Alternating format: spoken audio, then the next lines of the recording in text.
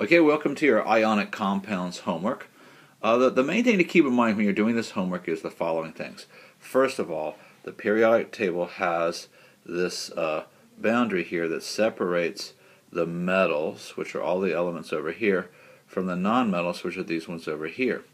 And that metals will combine with nonmetals to form ionic compounds and that the noble gases uh, won't participate in this because they don't need to gain or lose electrons. In other words, noble gases don't form ions or ionic compounds.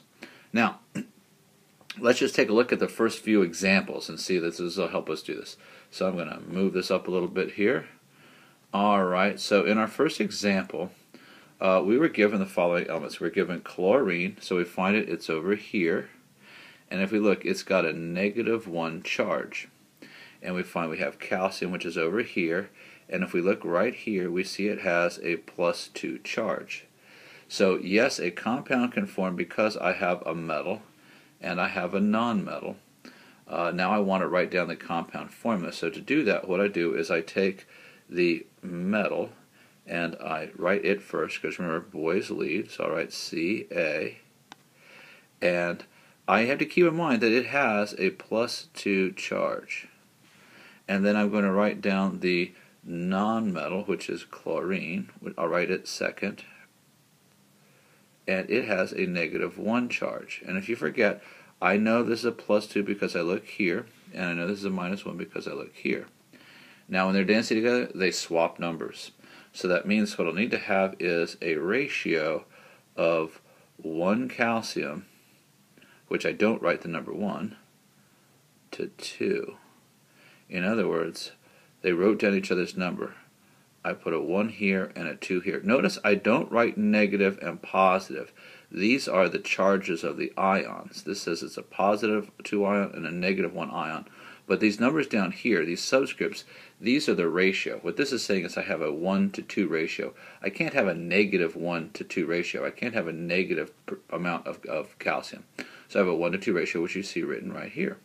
Now to write its name, I say the name of this sign, which is calcium.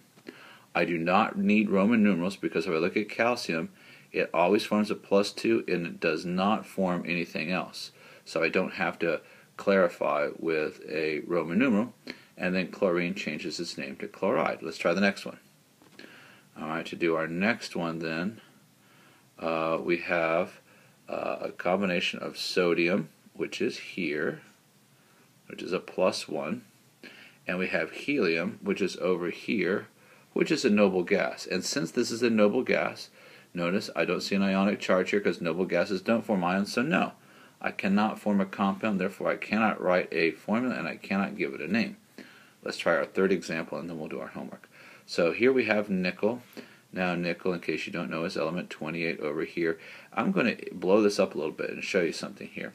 Uh, let me try to make this a little bit bigger. So when I look at nickel here, Notice that nickel uh, is usually a plus 2, but it can also be a 3. So it makes 3 and 2, and it's usually a plus 2. So I'm going to choose for this particular exercise to assume that it's a plus 2 unless I've been told otherwise. So let's make this smaller. Okay, how's that? All right. So I put a, in that case, I put a plus 2 up here and I find sulfur, which is element 16, which is over here, and if I look, it's a minus 2. So again, I put the uh, the boy leads, the metal goes first, so I'm going to say Ni, which has a plus 2 charge.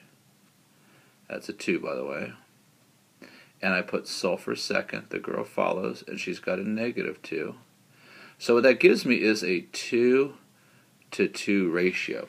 So this trick of swapping numbers works, but you've got to be careful because a 2 to 2 ratio can be reduced. And if, if it's possible to reduce it, you must reduce it. So a 2 to 2 ratio reduces to a 1 to 1 ratio that we see here.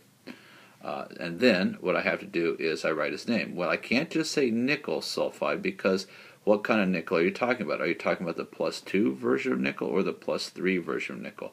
Since there's two different types of nickels that form, I have to stipulate by saying nickel Roman numeral 2. And that Roman numeral 2 is telling me it's a plus 2 ion.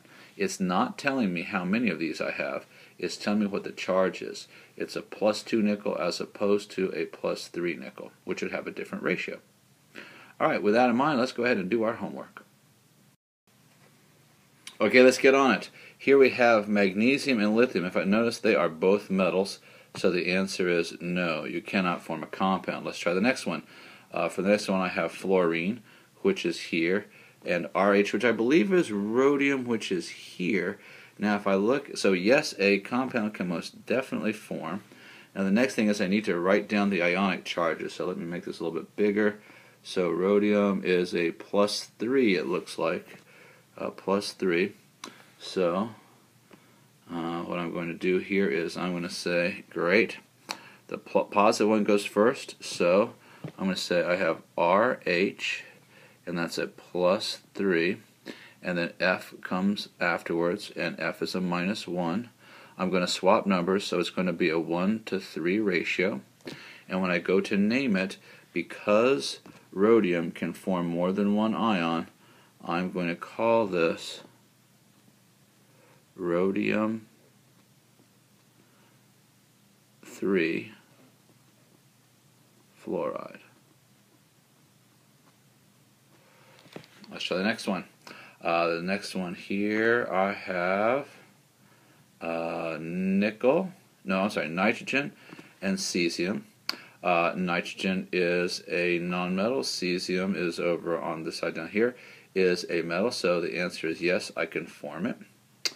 And you know what, I'm pretty sure cesium's a plus 2, let me just look.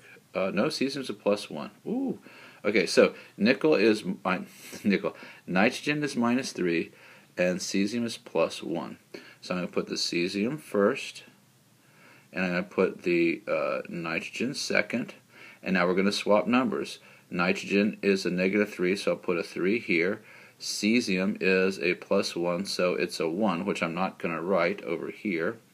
Uh, so it's a 3 to 1 ratio. And since cesium only forms one possible ion, I can just write cesium nitride. And the next one I have is uh, barium, which is a metal, and aluminum, which is a metal. Two metals? No way, no compound. Next one's easy because look what I got. I got neon. Neon's a noble gas. Noble gases don't form compounds. Boom. Let's keep going here. I'm going to scroll this up a little bit. All right. Now we have uh, tantalum and oxygen. Well, let's see. Let me bring this up a little bit. Tantalum. Wherefore art thou? Here's tantalum. It looks to me like tantalum is a plus 5. Uh, so I'm going to write plus 5 here. Oxygen is a minus 2, a nonmetal. Since I have a metal and a nonmetal, yes, it can form. I'm going to put Ta first, which is a plus 5. I'm going to put the oxygen second, which is a minus 2. We're going to swap numbers, so I'm going to get a 2 to 5 ratio. All you do is you swap numbers, and don't make this one negative because you can't have a negative amount of tantalum. Now if I look down here, tantalum only forms plus 5, so I do not need Roman numerals. I'll just say tantalum oxide. Next one, I have uh, aluminum, a metal, iodine, a nonmetal. Uh, so yes, I can form a compound. Aluminum, if I look, I'll see it's plus 3. Better move this out of my way. And iodine, whoops, wrong thing. and then I have iodine. Oh, darn it. and I have iodine, which is a minus 1, so it's going to be a 1 to 3 ratio. And that's, since aluminum only forms one type of ion, it's going to be aluminum iodide. Next, I have lead and fluorine. Now, you know what? Lead's either plus 2 or plus 4. Let me see which is more likely. It looks to me like it's uh, plus 2, but it could be a plus 4. But in this case, it's, a plus 2, so I'm going to go with. So, for lead, you know what, I'm probably going to make this a little bit bigger here, okay. Give myself room to work. Okay, so lead is a plus 2. Fluorine is a minus 1. Uh, so yes, I can form a compound. I'm going to put the lead first, And since I have one of these, I need one of them here. I'm not going to write a 1. And now I'm going to write fluoride. And since lead is a 2, I'm going to write a 2 down here. PbF2. And since lead can form more than one ion, I have to use Roman numerals. So I'm going to say lead, Roman numeral 2, fluoride. Uh, next we have uh, sulfur, which is minus 2, potassium, which is plus 1. So, yes, boys and girls can dance. Uh, sulfur is minus 2, potassium is plus 1. I put the positive one first, and I'm going to give it sulfur's number, which is 2. I'm going to put the sulfur second and give it potassium's number, which is 1. And it's a 2 to 1 ratio, and since potassium only forms one ion, I'll just say potassium, no Roman numeral, sulfide. And guys, I'm really sorry about how horrible I write with a stylus, but you know what? I'm trying. Alright. Now we got bromine and tungsten. You know what? I don't remember. I'm pretty sure tungsten's a 6, but let's just take a look at it. Tungsten. Yeah, tungsten's a 6. There it is right there. And notice it makes a whole bunch of other ones. So I am going to have to use Roman numerals, it looks like. So here you go. Bromine. I know bromine is a minus 1 ion. Tungsten is a plus 6. So yes, positives and negatives, they combine. I put the positive one first. I give it bromine's number. Bromine is a 1, so I don't have to put a 1 here. It's understood. Uh, and then I'm going to put the uh, bromine next. Bromine. I'm going to give it tungsten's number, which is 6. So WBr6. Since tungsten can form multiple ions, I'll have to say which one it is. Tungsten, Roman numeral, 6, bromide. Notice all these ide, ide, ide, ide, ides. Next one, we've got, uh, uh, we have aluminum and argon. Argon's a noble gas, so the answer is a big no. Let's keep going here. Now we've got uh, radium and chlorine. Well, it turns out that radium, I believe, is a plus 2. Let's take a quick look. Yep, it's a plus 2. It's a metal. Chlorine I know is a minus 1, so yes, they can form a compound. I put the positive one first. Ra. I'm going to give it chlorine's number. Chlorine is 1, so I don't have to write anything down. It's understood to be 1. And now I'm going to go ahead and write chlorine and give it radium's number, which is 2. And what I have here is radium. And I don't have to say Roman numeral 2 because it's always a 2. And then I'll say chloride. And it's worth noting the reason this works is because if I have two negative ones, that's negative 2, and one 2 is positive, positive two. 2 and negative 2 cancel each other out. Let's keep going. Now I've got nickel and lithium. Whoops, I've got I got nickel, lithium. Hey, those are both metals. So the answer is nope, you can't do it. And then here I have zirconium and iodine. Uh, well, zirconium is always a plus four. Iodine is always a minus one. So yes, I have positive, I have negative, I have metal, I have non-metal, I have boy, I have girl. I put the boy, the metal first, zirconium. He's going to write down iodine's number, which is one. So I I haven't understood one here. I don't have to write it down and then I'm going to write down iodine. And I'm going to give iodine zirconium's number which is 4 uh, so I put a 4 here because 4 negative 1s cancels out 1 positive 4 and the name of this is just going to be zirconium. It only makes one ion so I don't use a Roman numeral. And then I say iodide Well, let's have more fun on the back. The fun never stops. So what you have to do now is something different. Now you've got to take the name of the compound and turn it into a chemical formula. So the trick here is to uh, to use what you know about their ionic charges uh, to to figure out the ratios. So I see I have osmium, and I've been told it's a, a four, so I don't even have to look it up.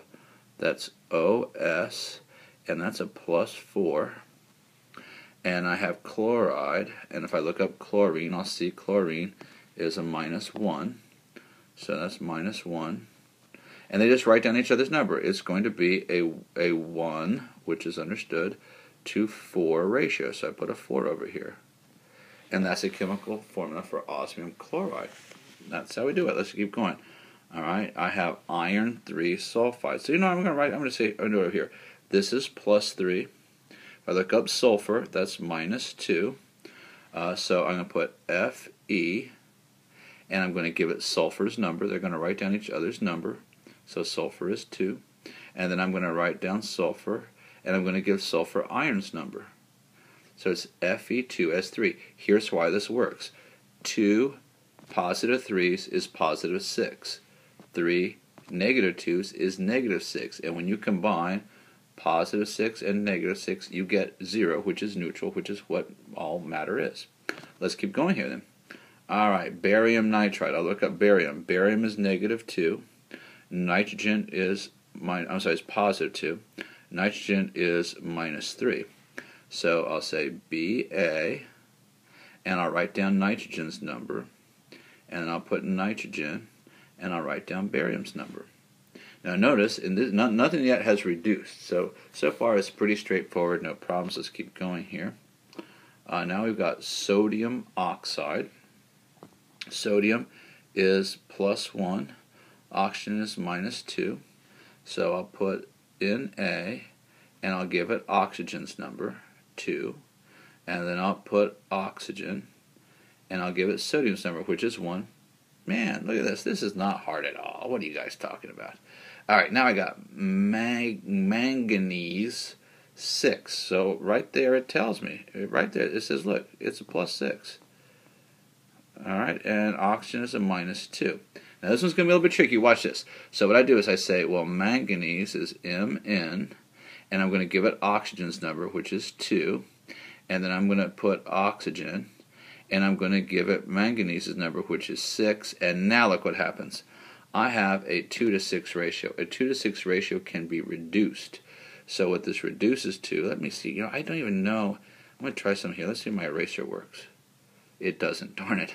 okay, so what I have to do then instead is I'm going to reduce this. So uh, this reduces to 1, and this reduces to 3. So really it's MN1O3. And the reason this works is because 3 negative 2 ions, that's negative 6, that counteracts 1 positive 6 ion.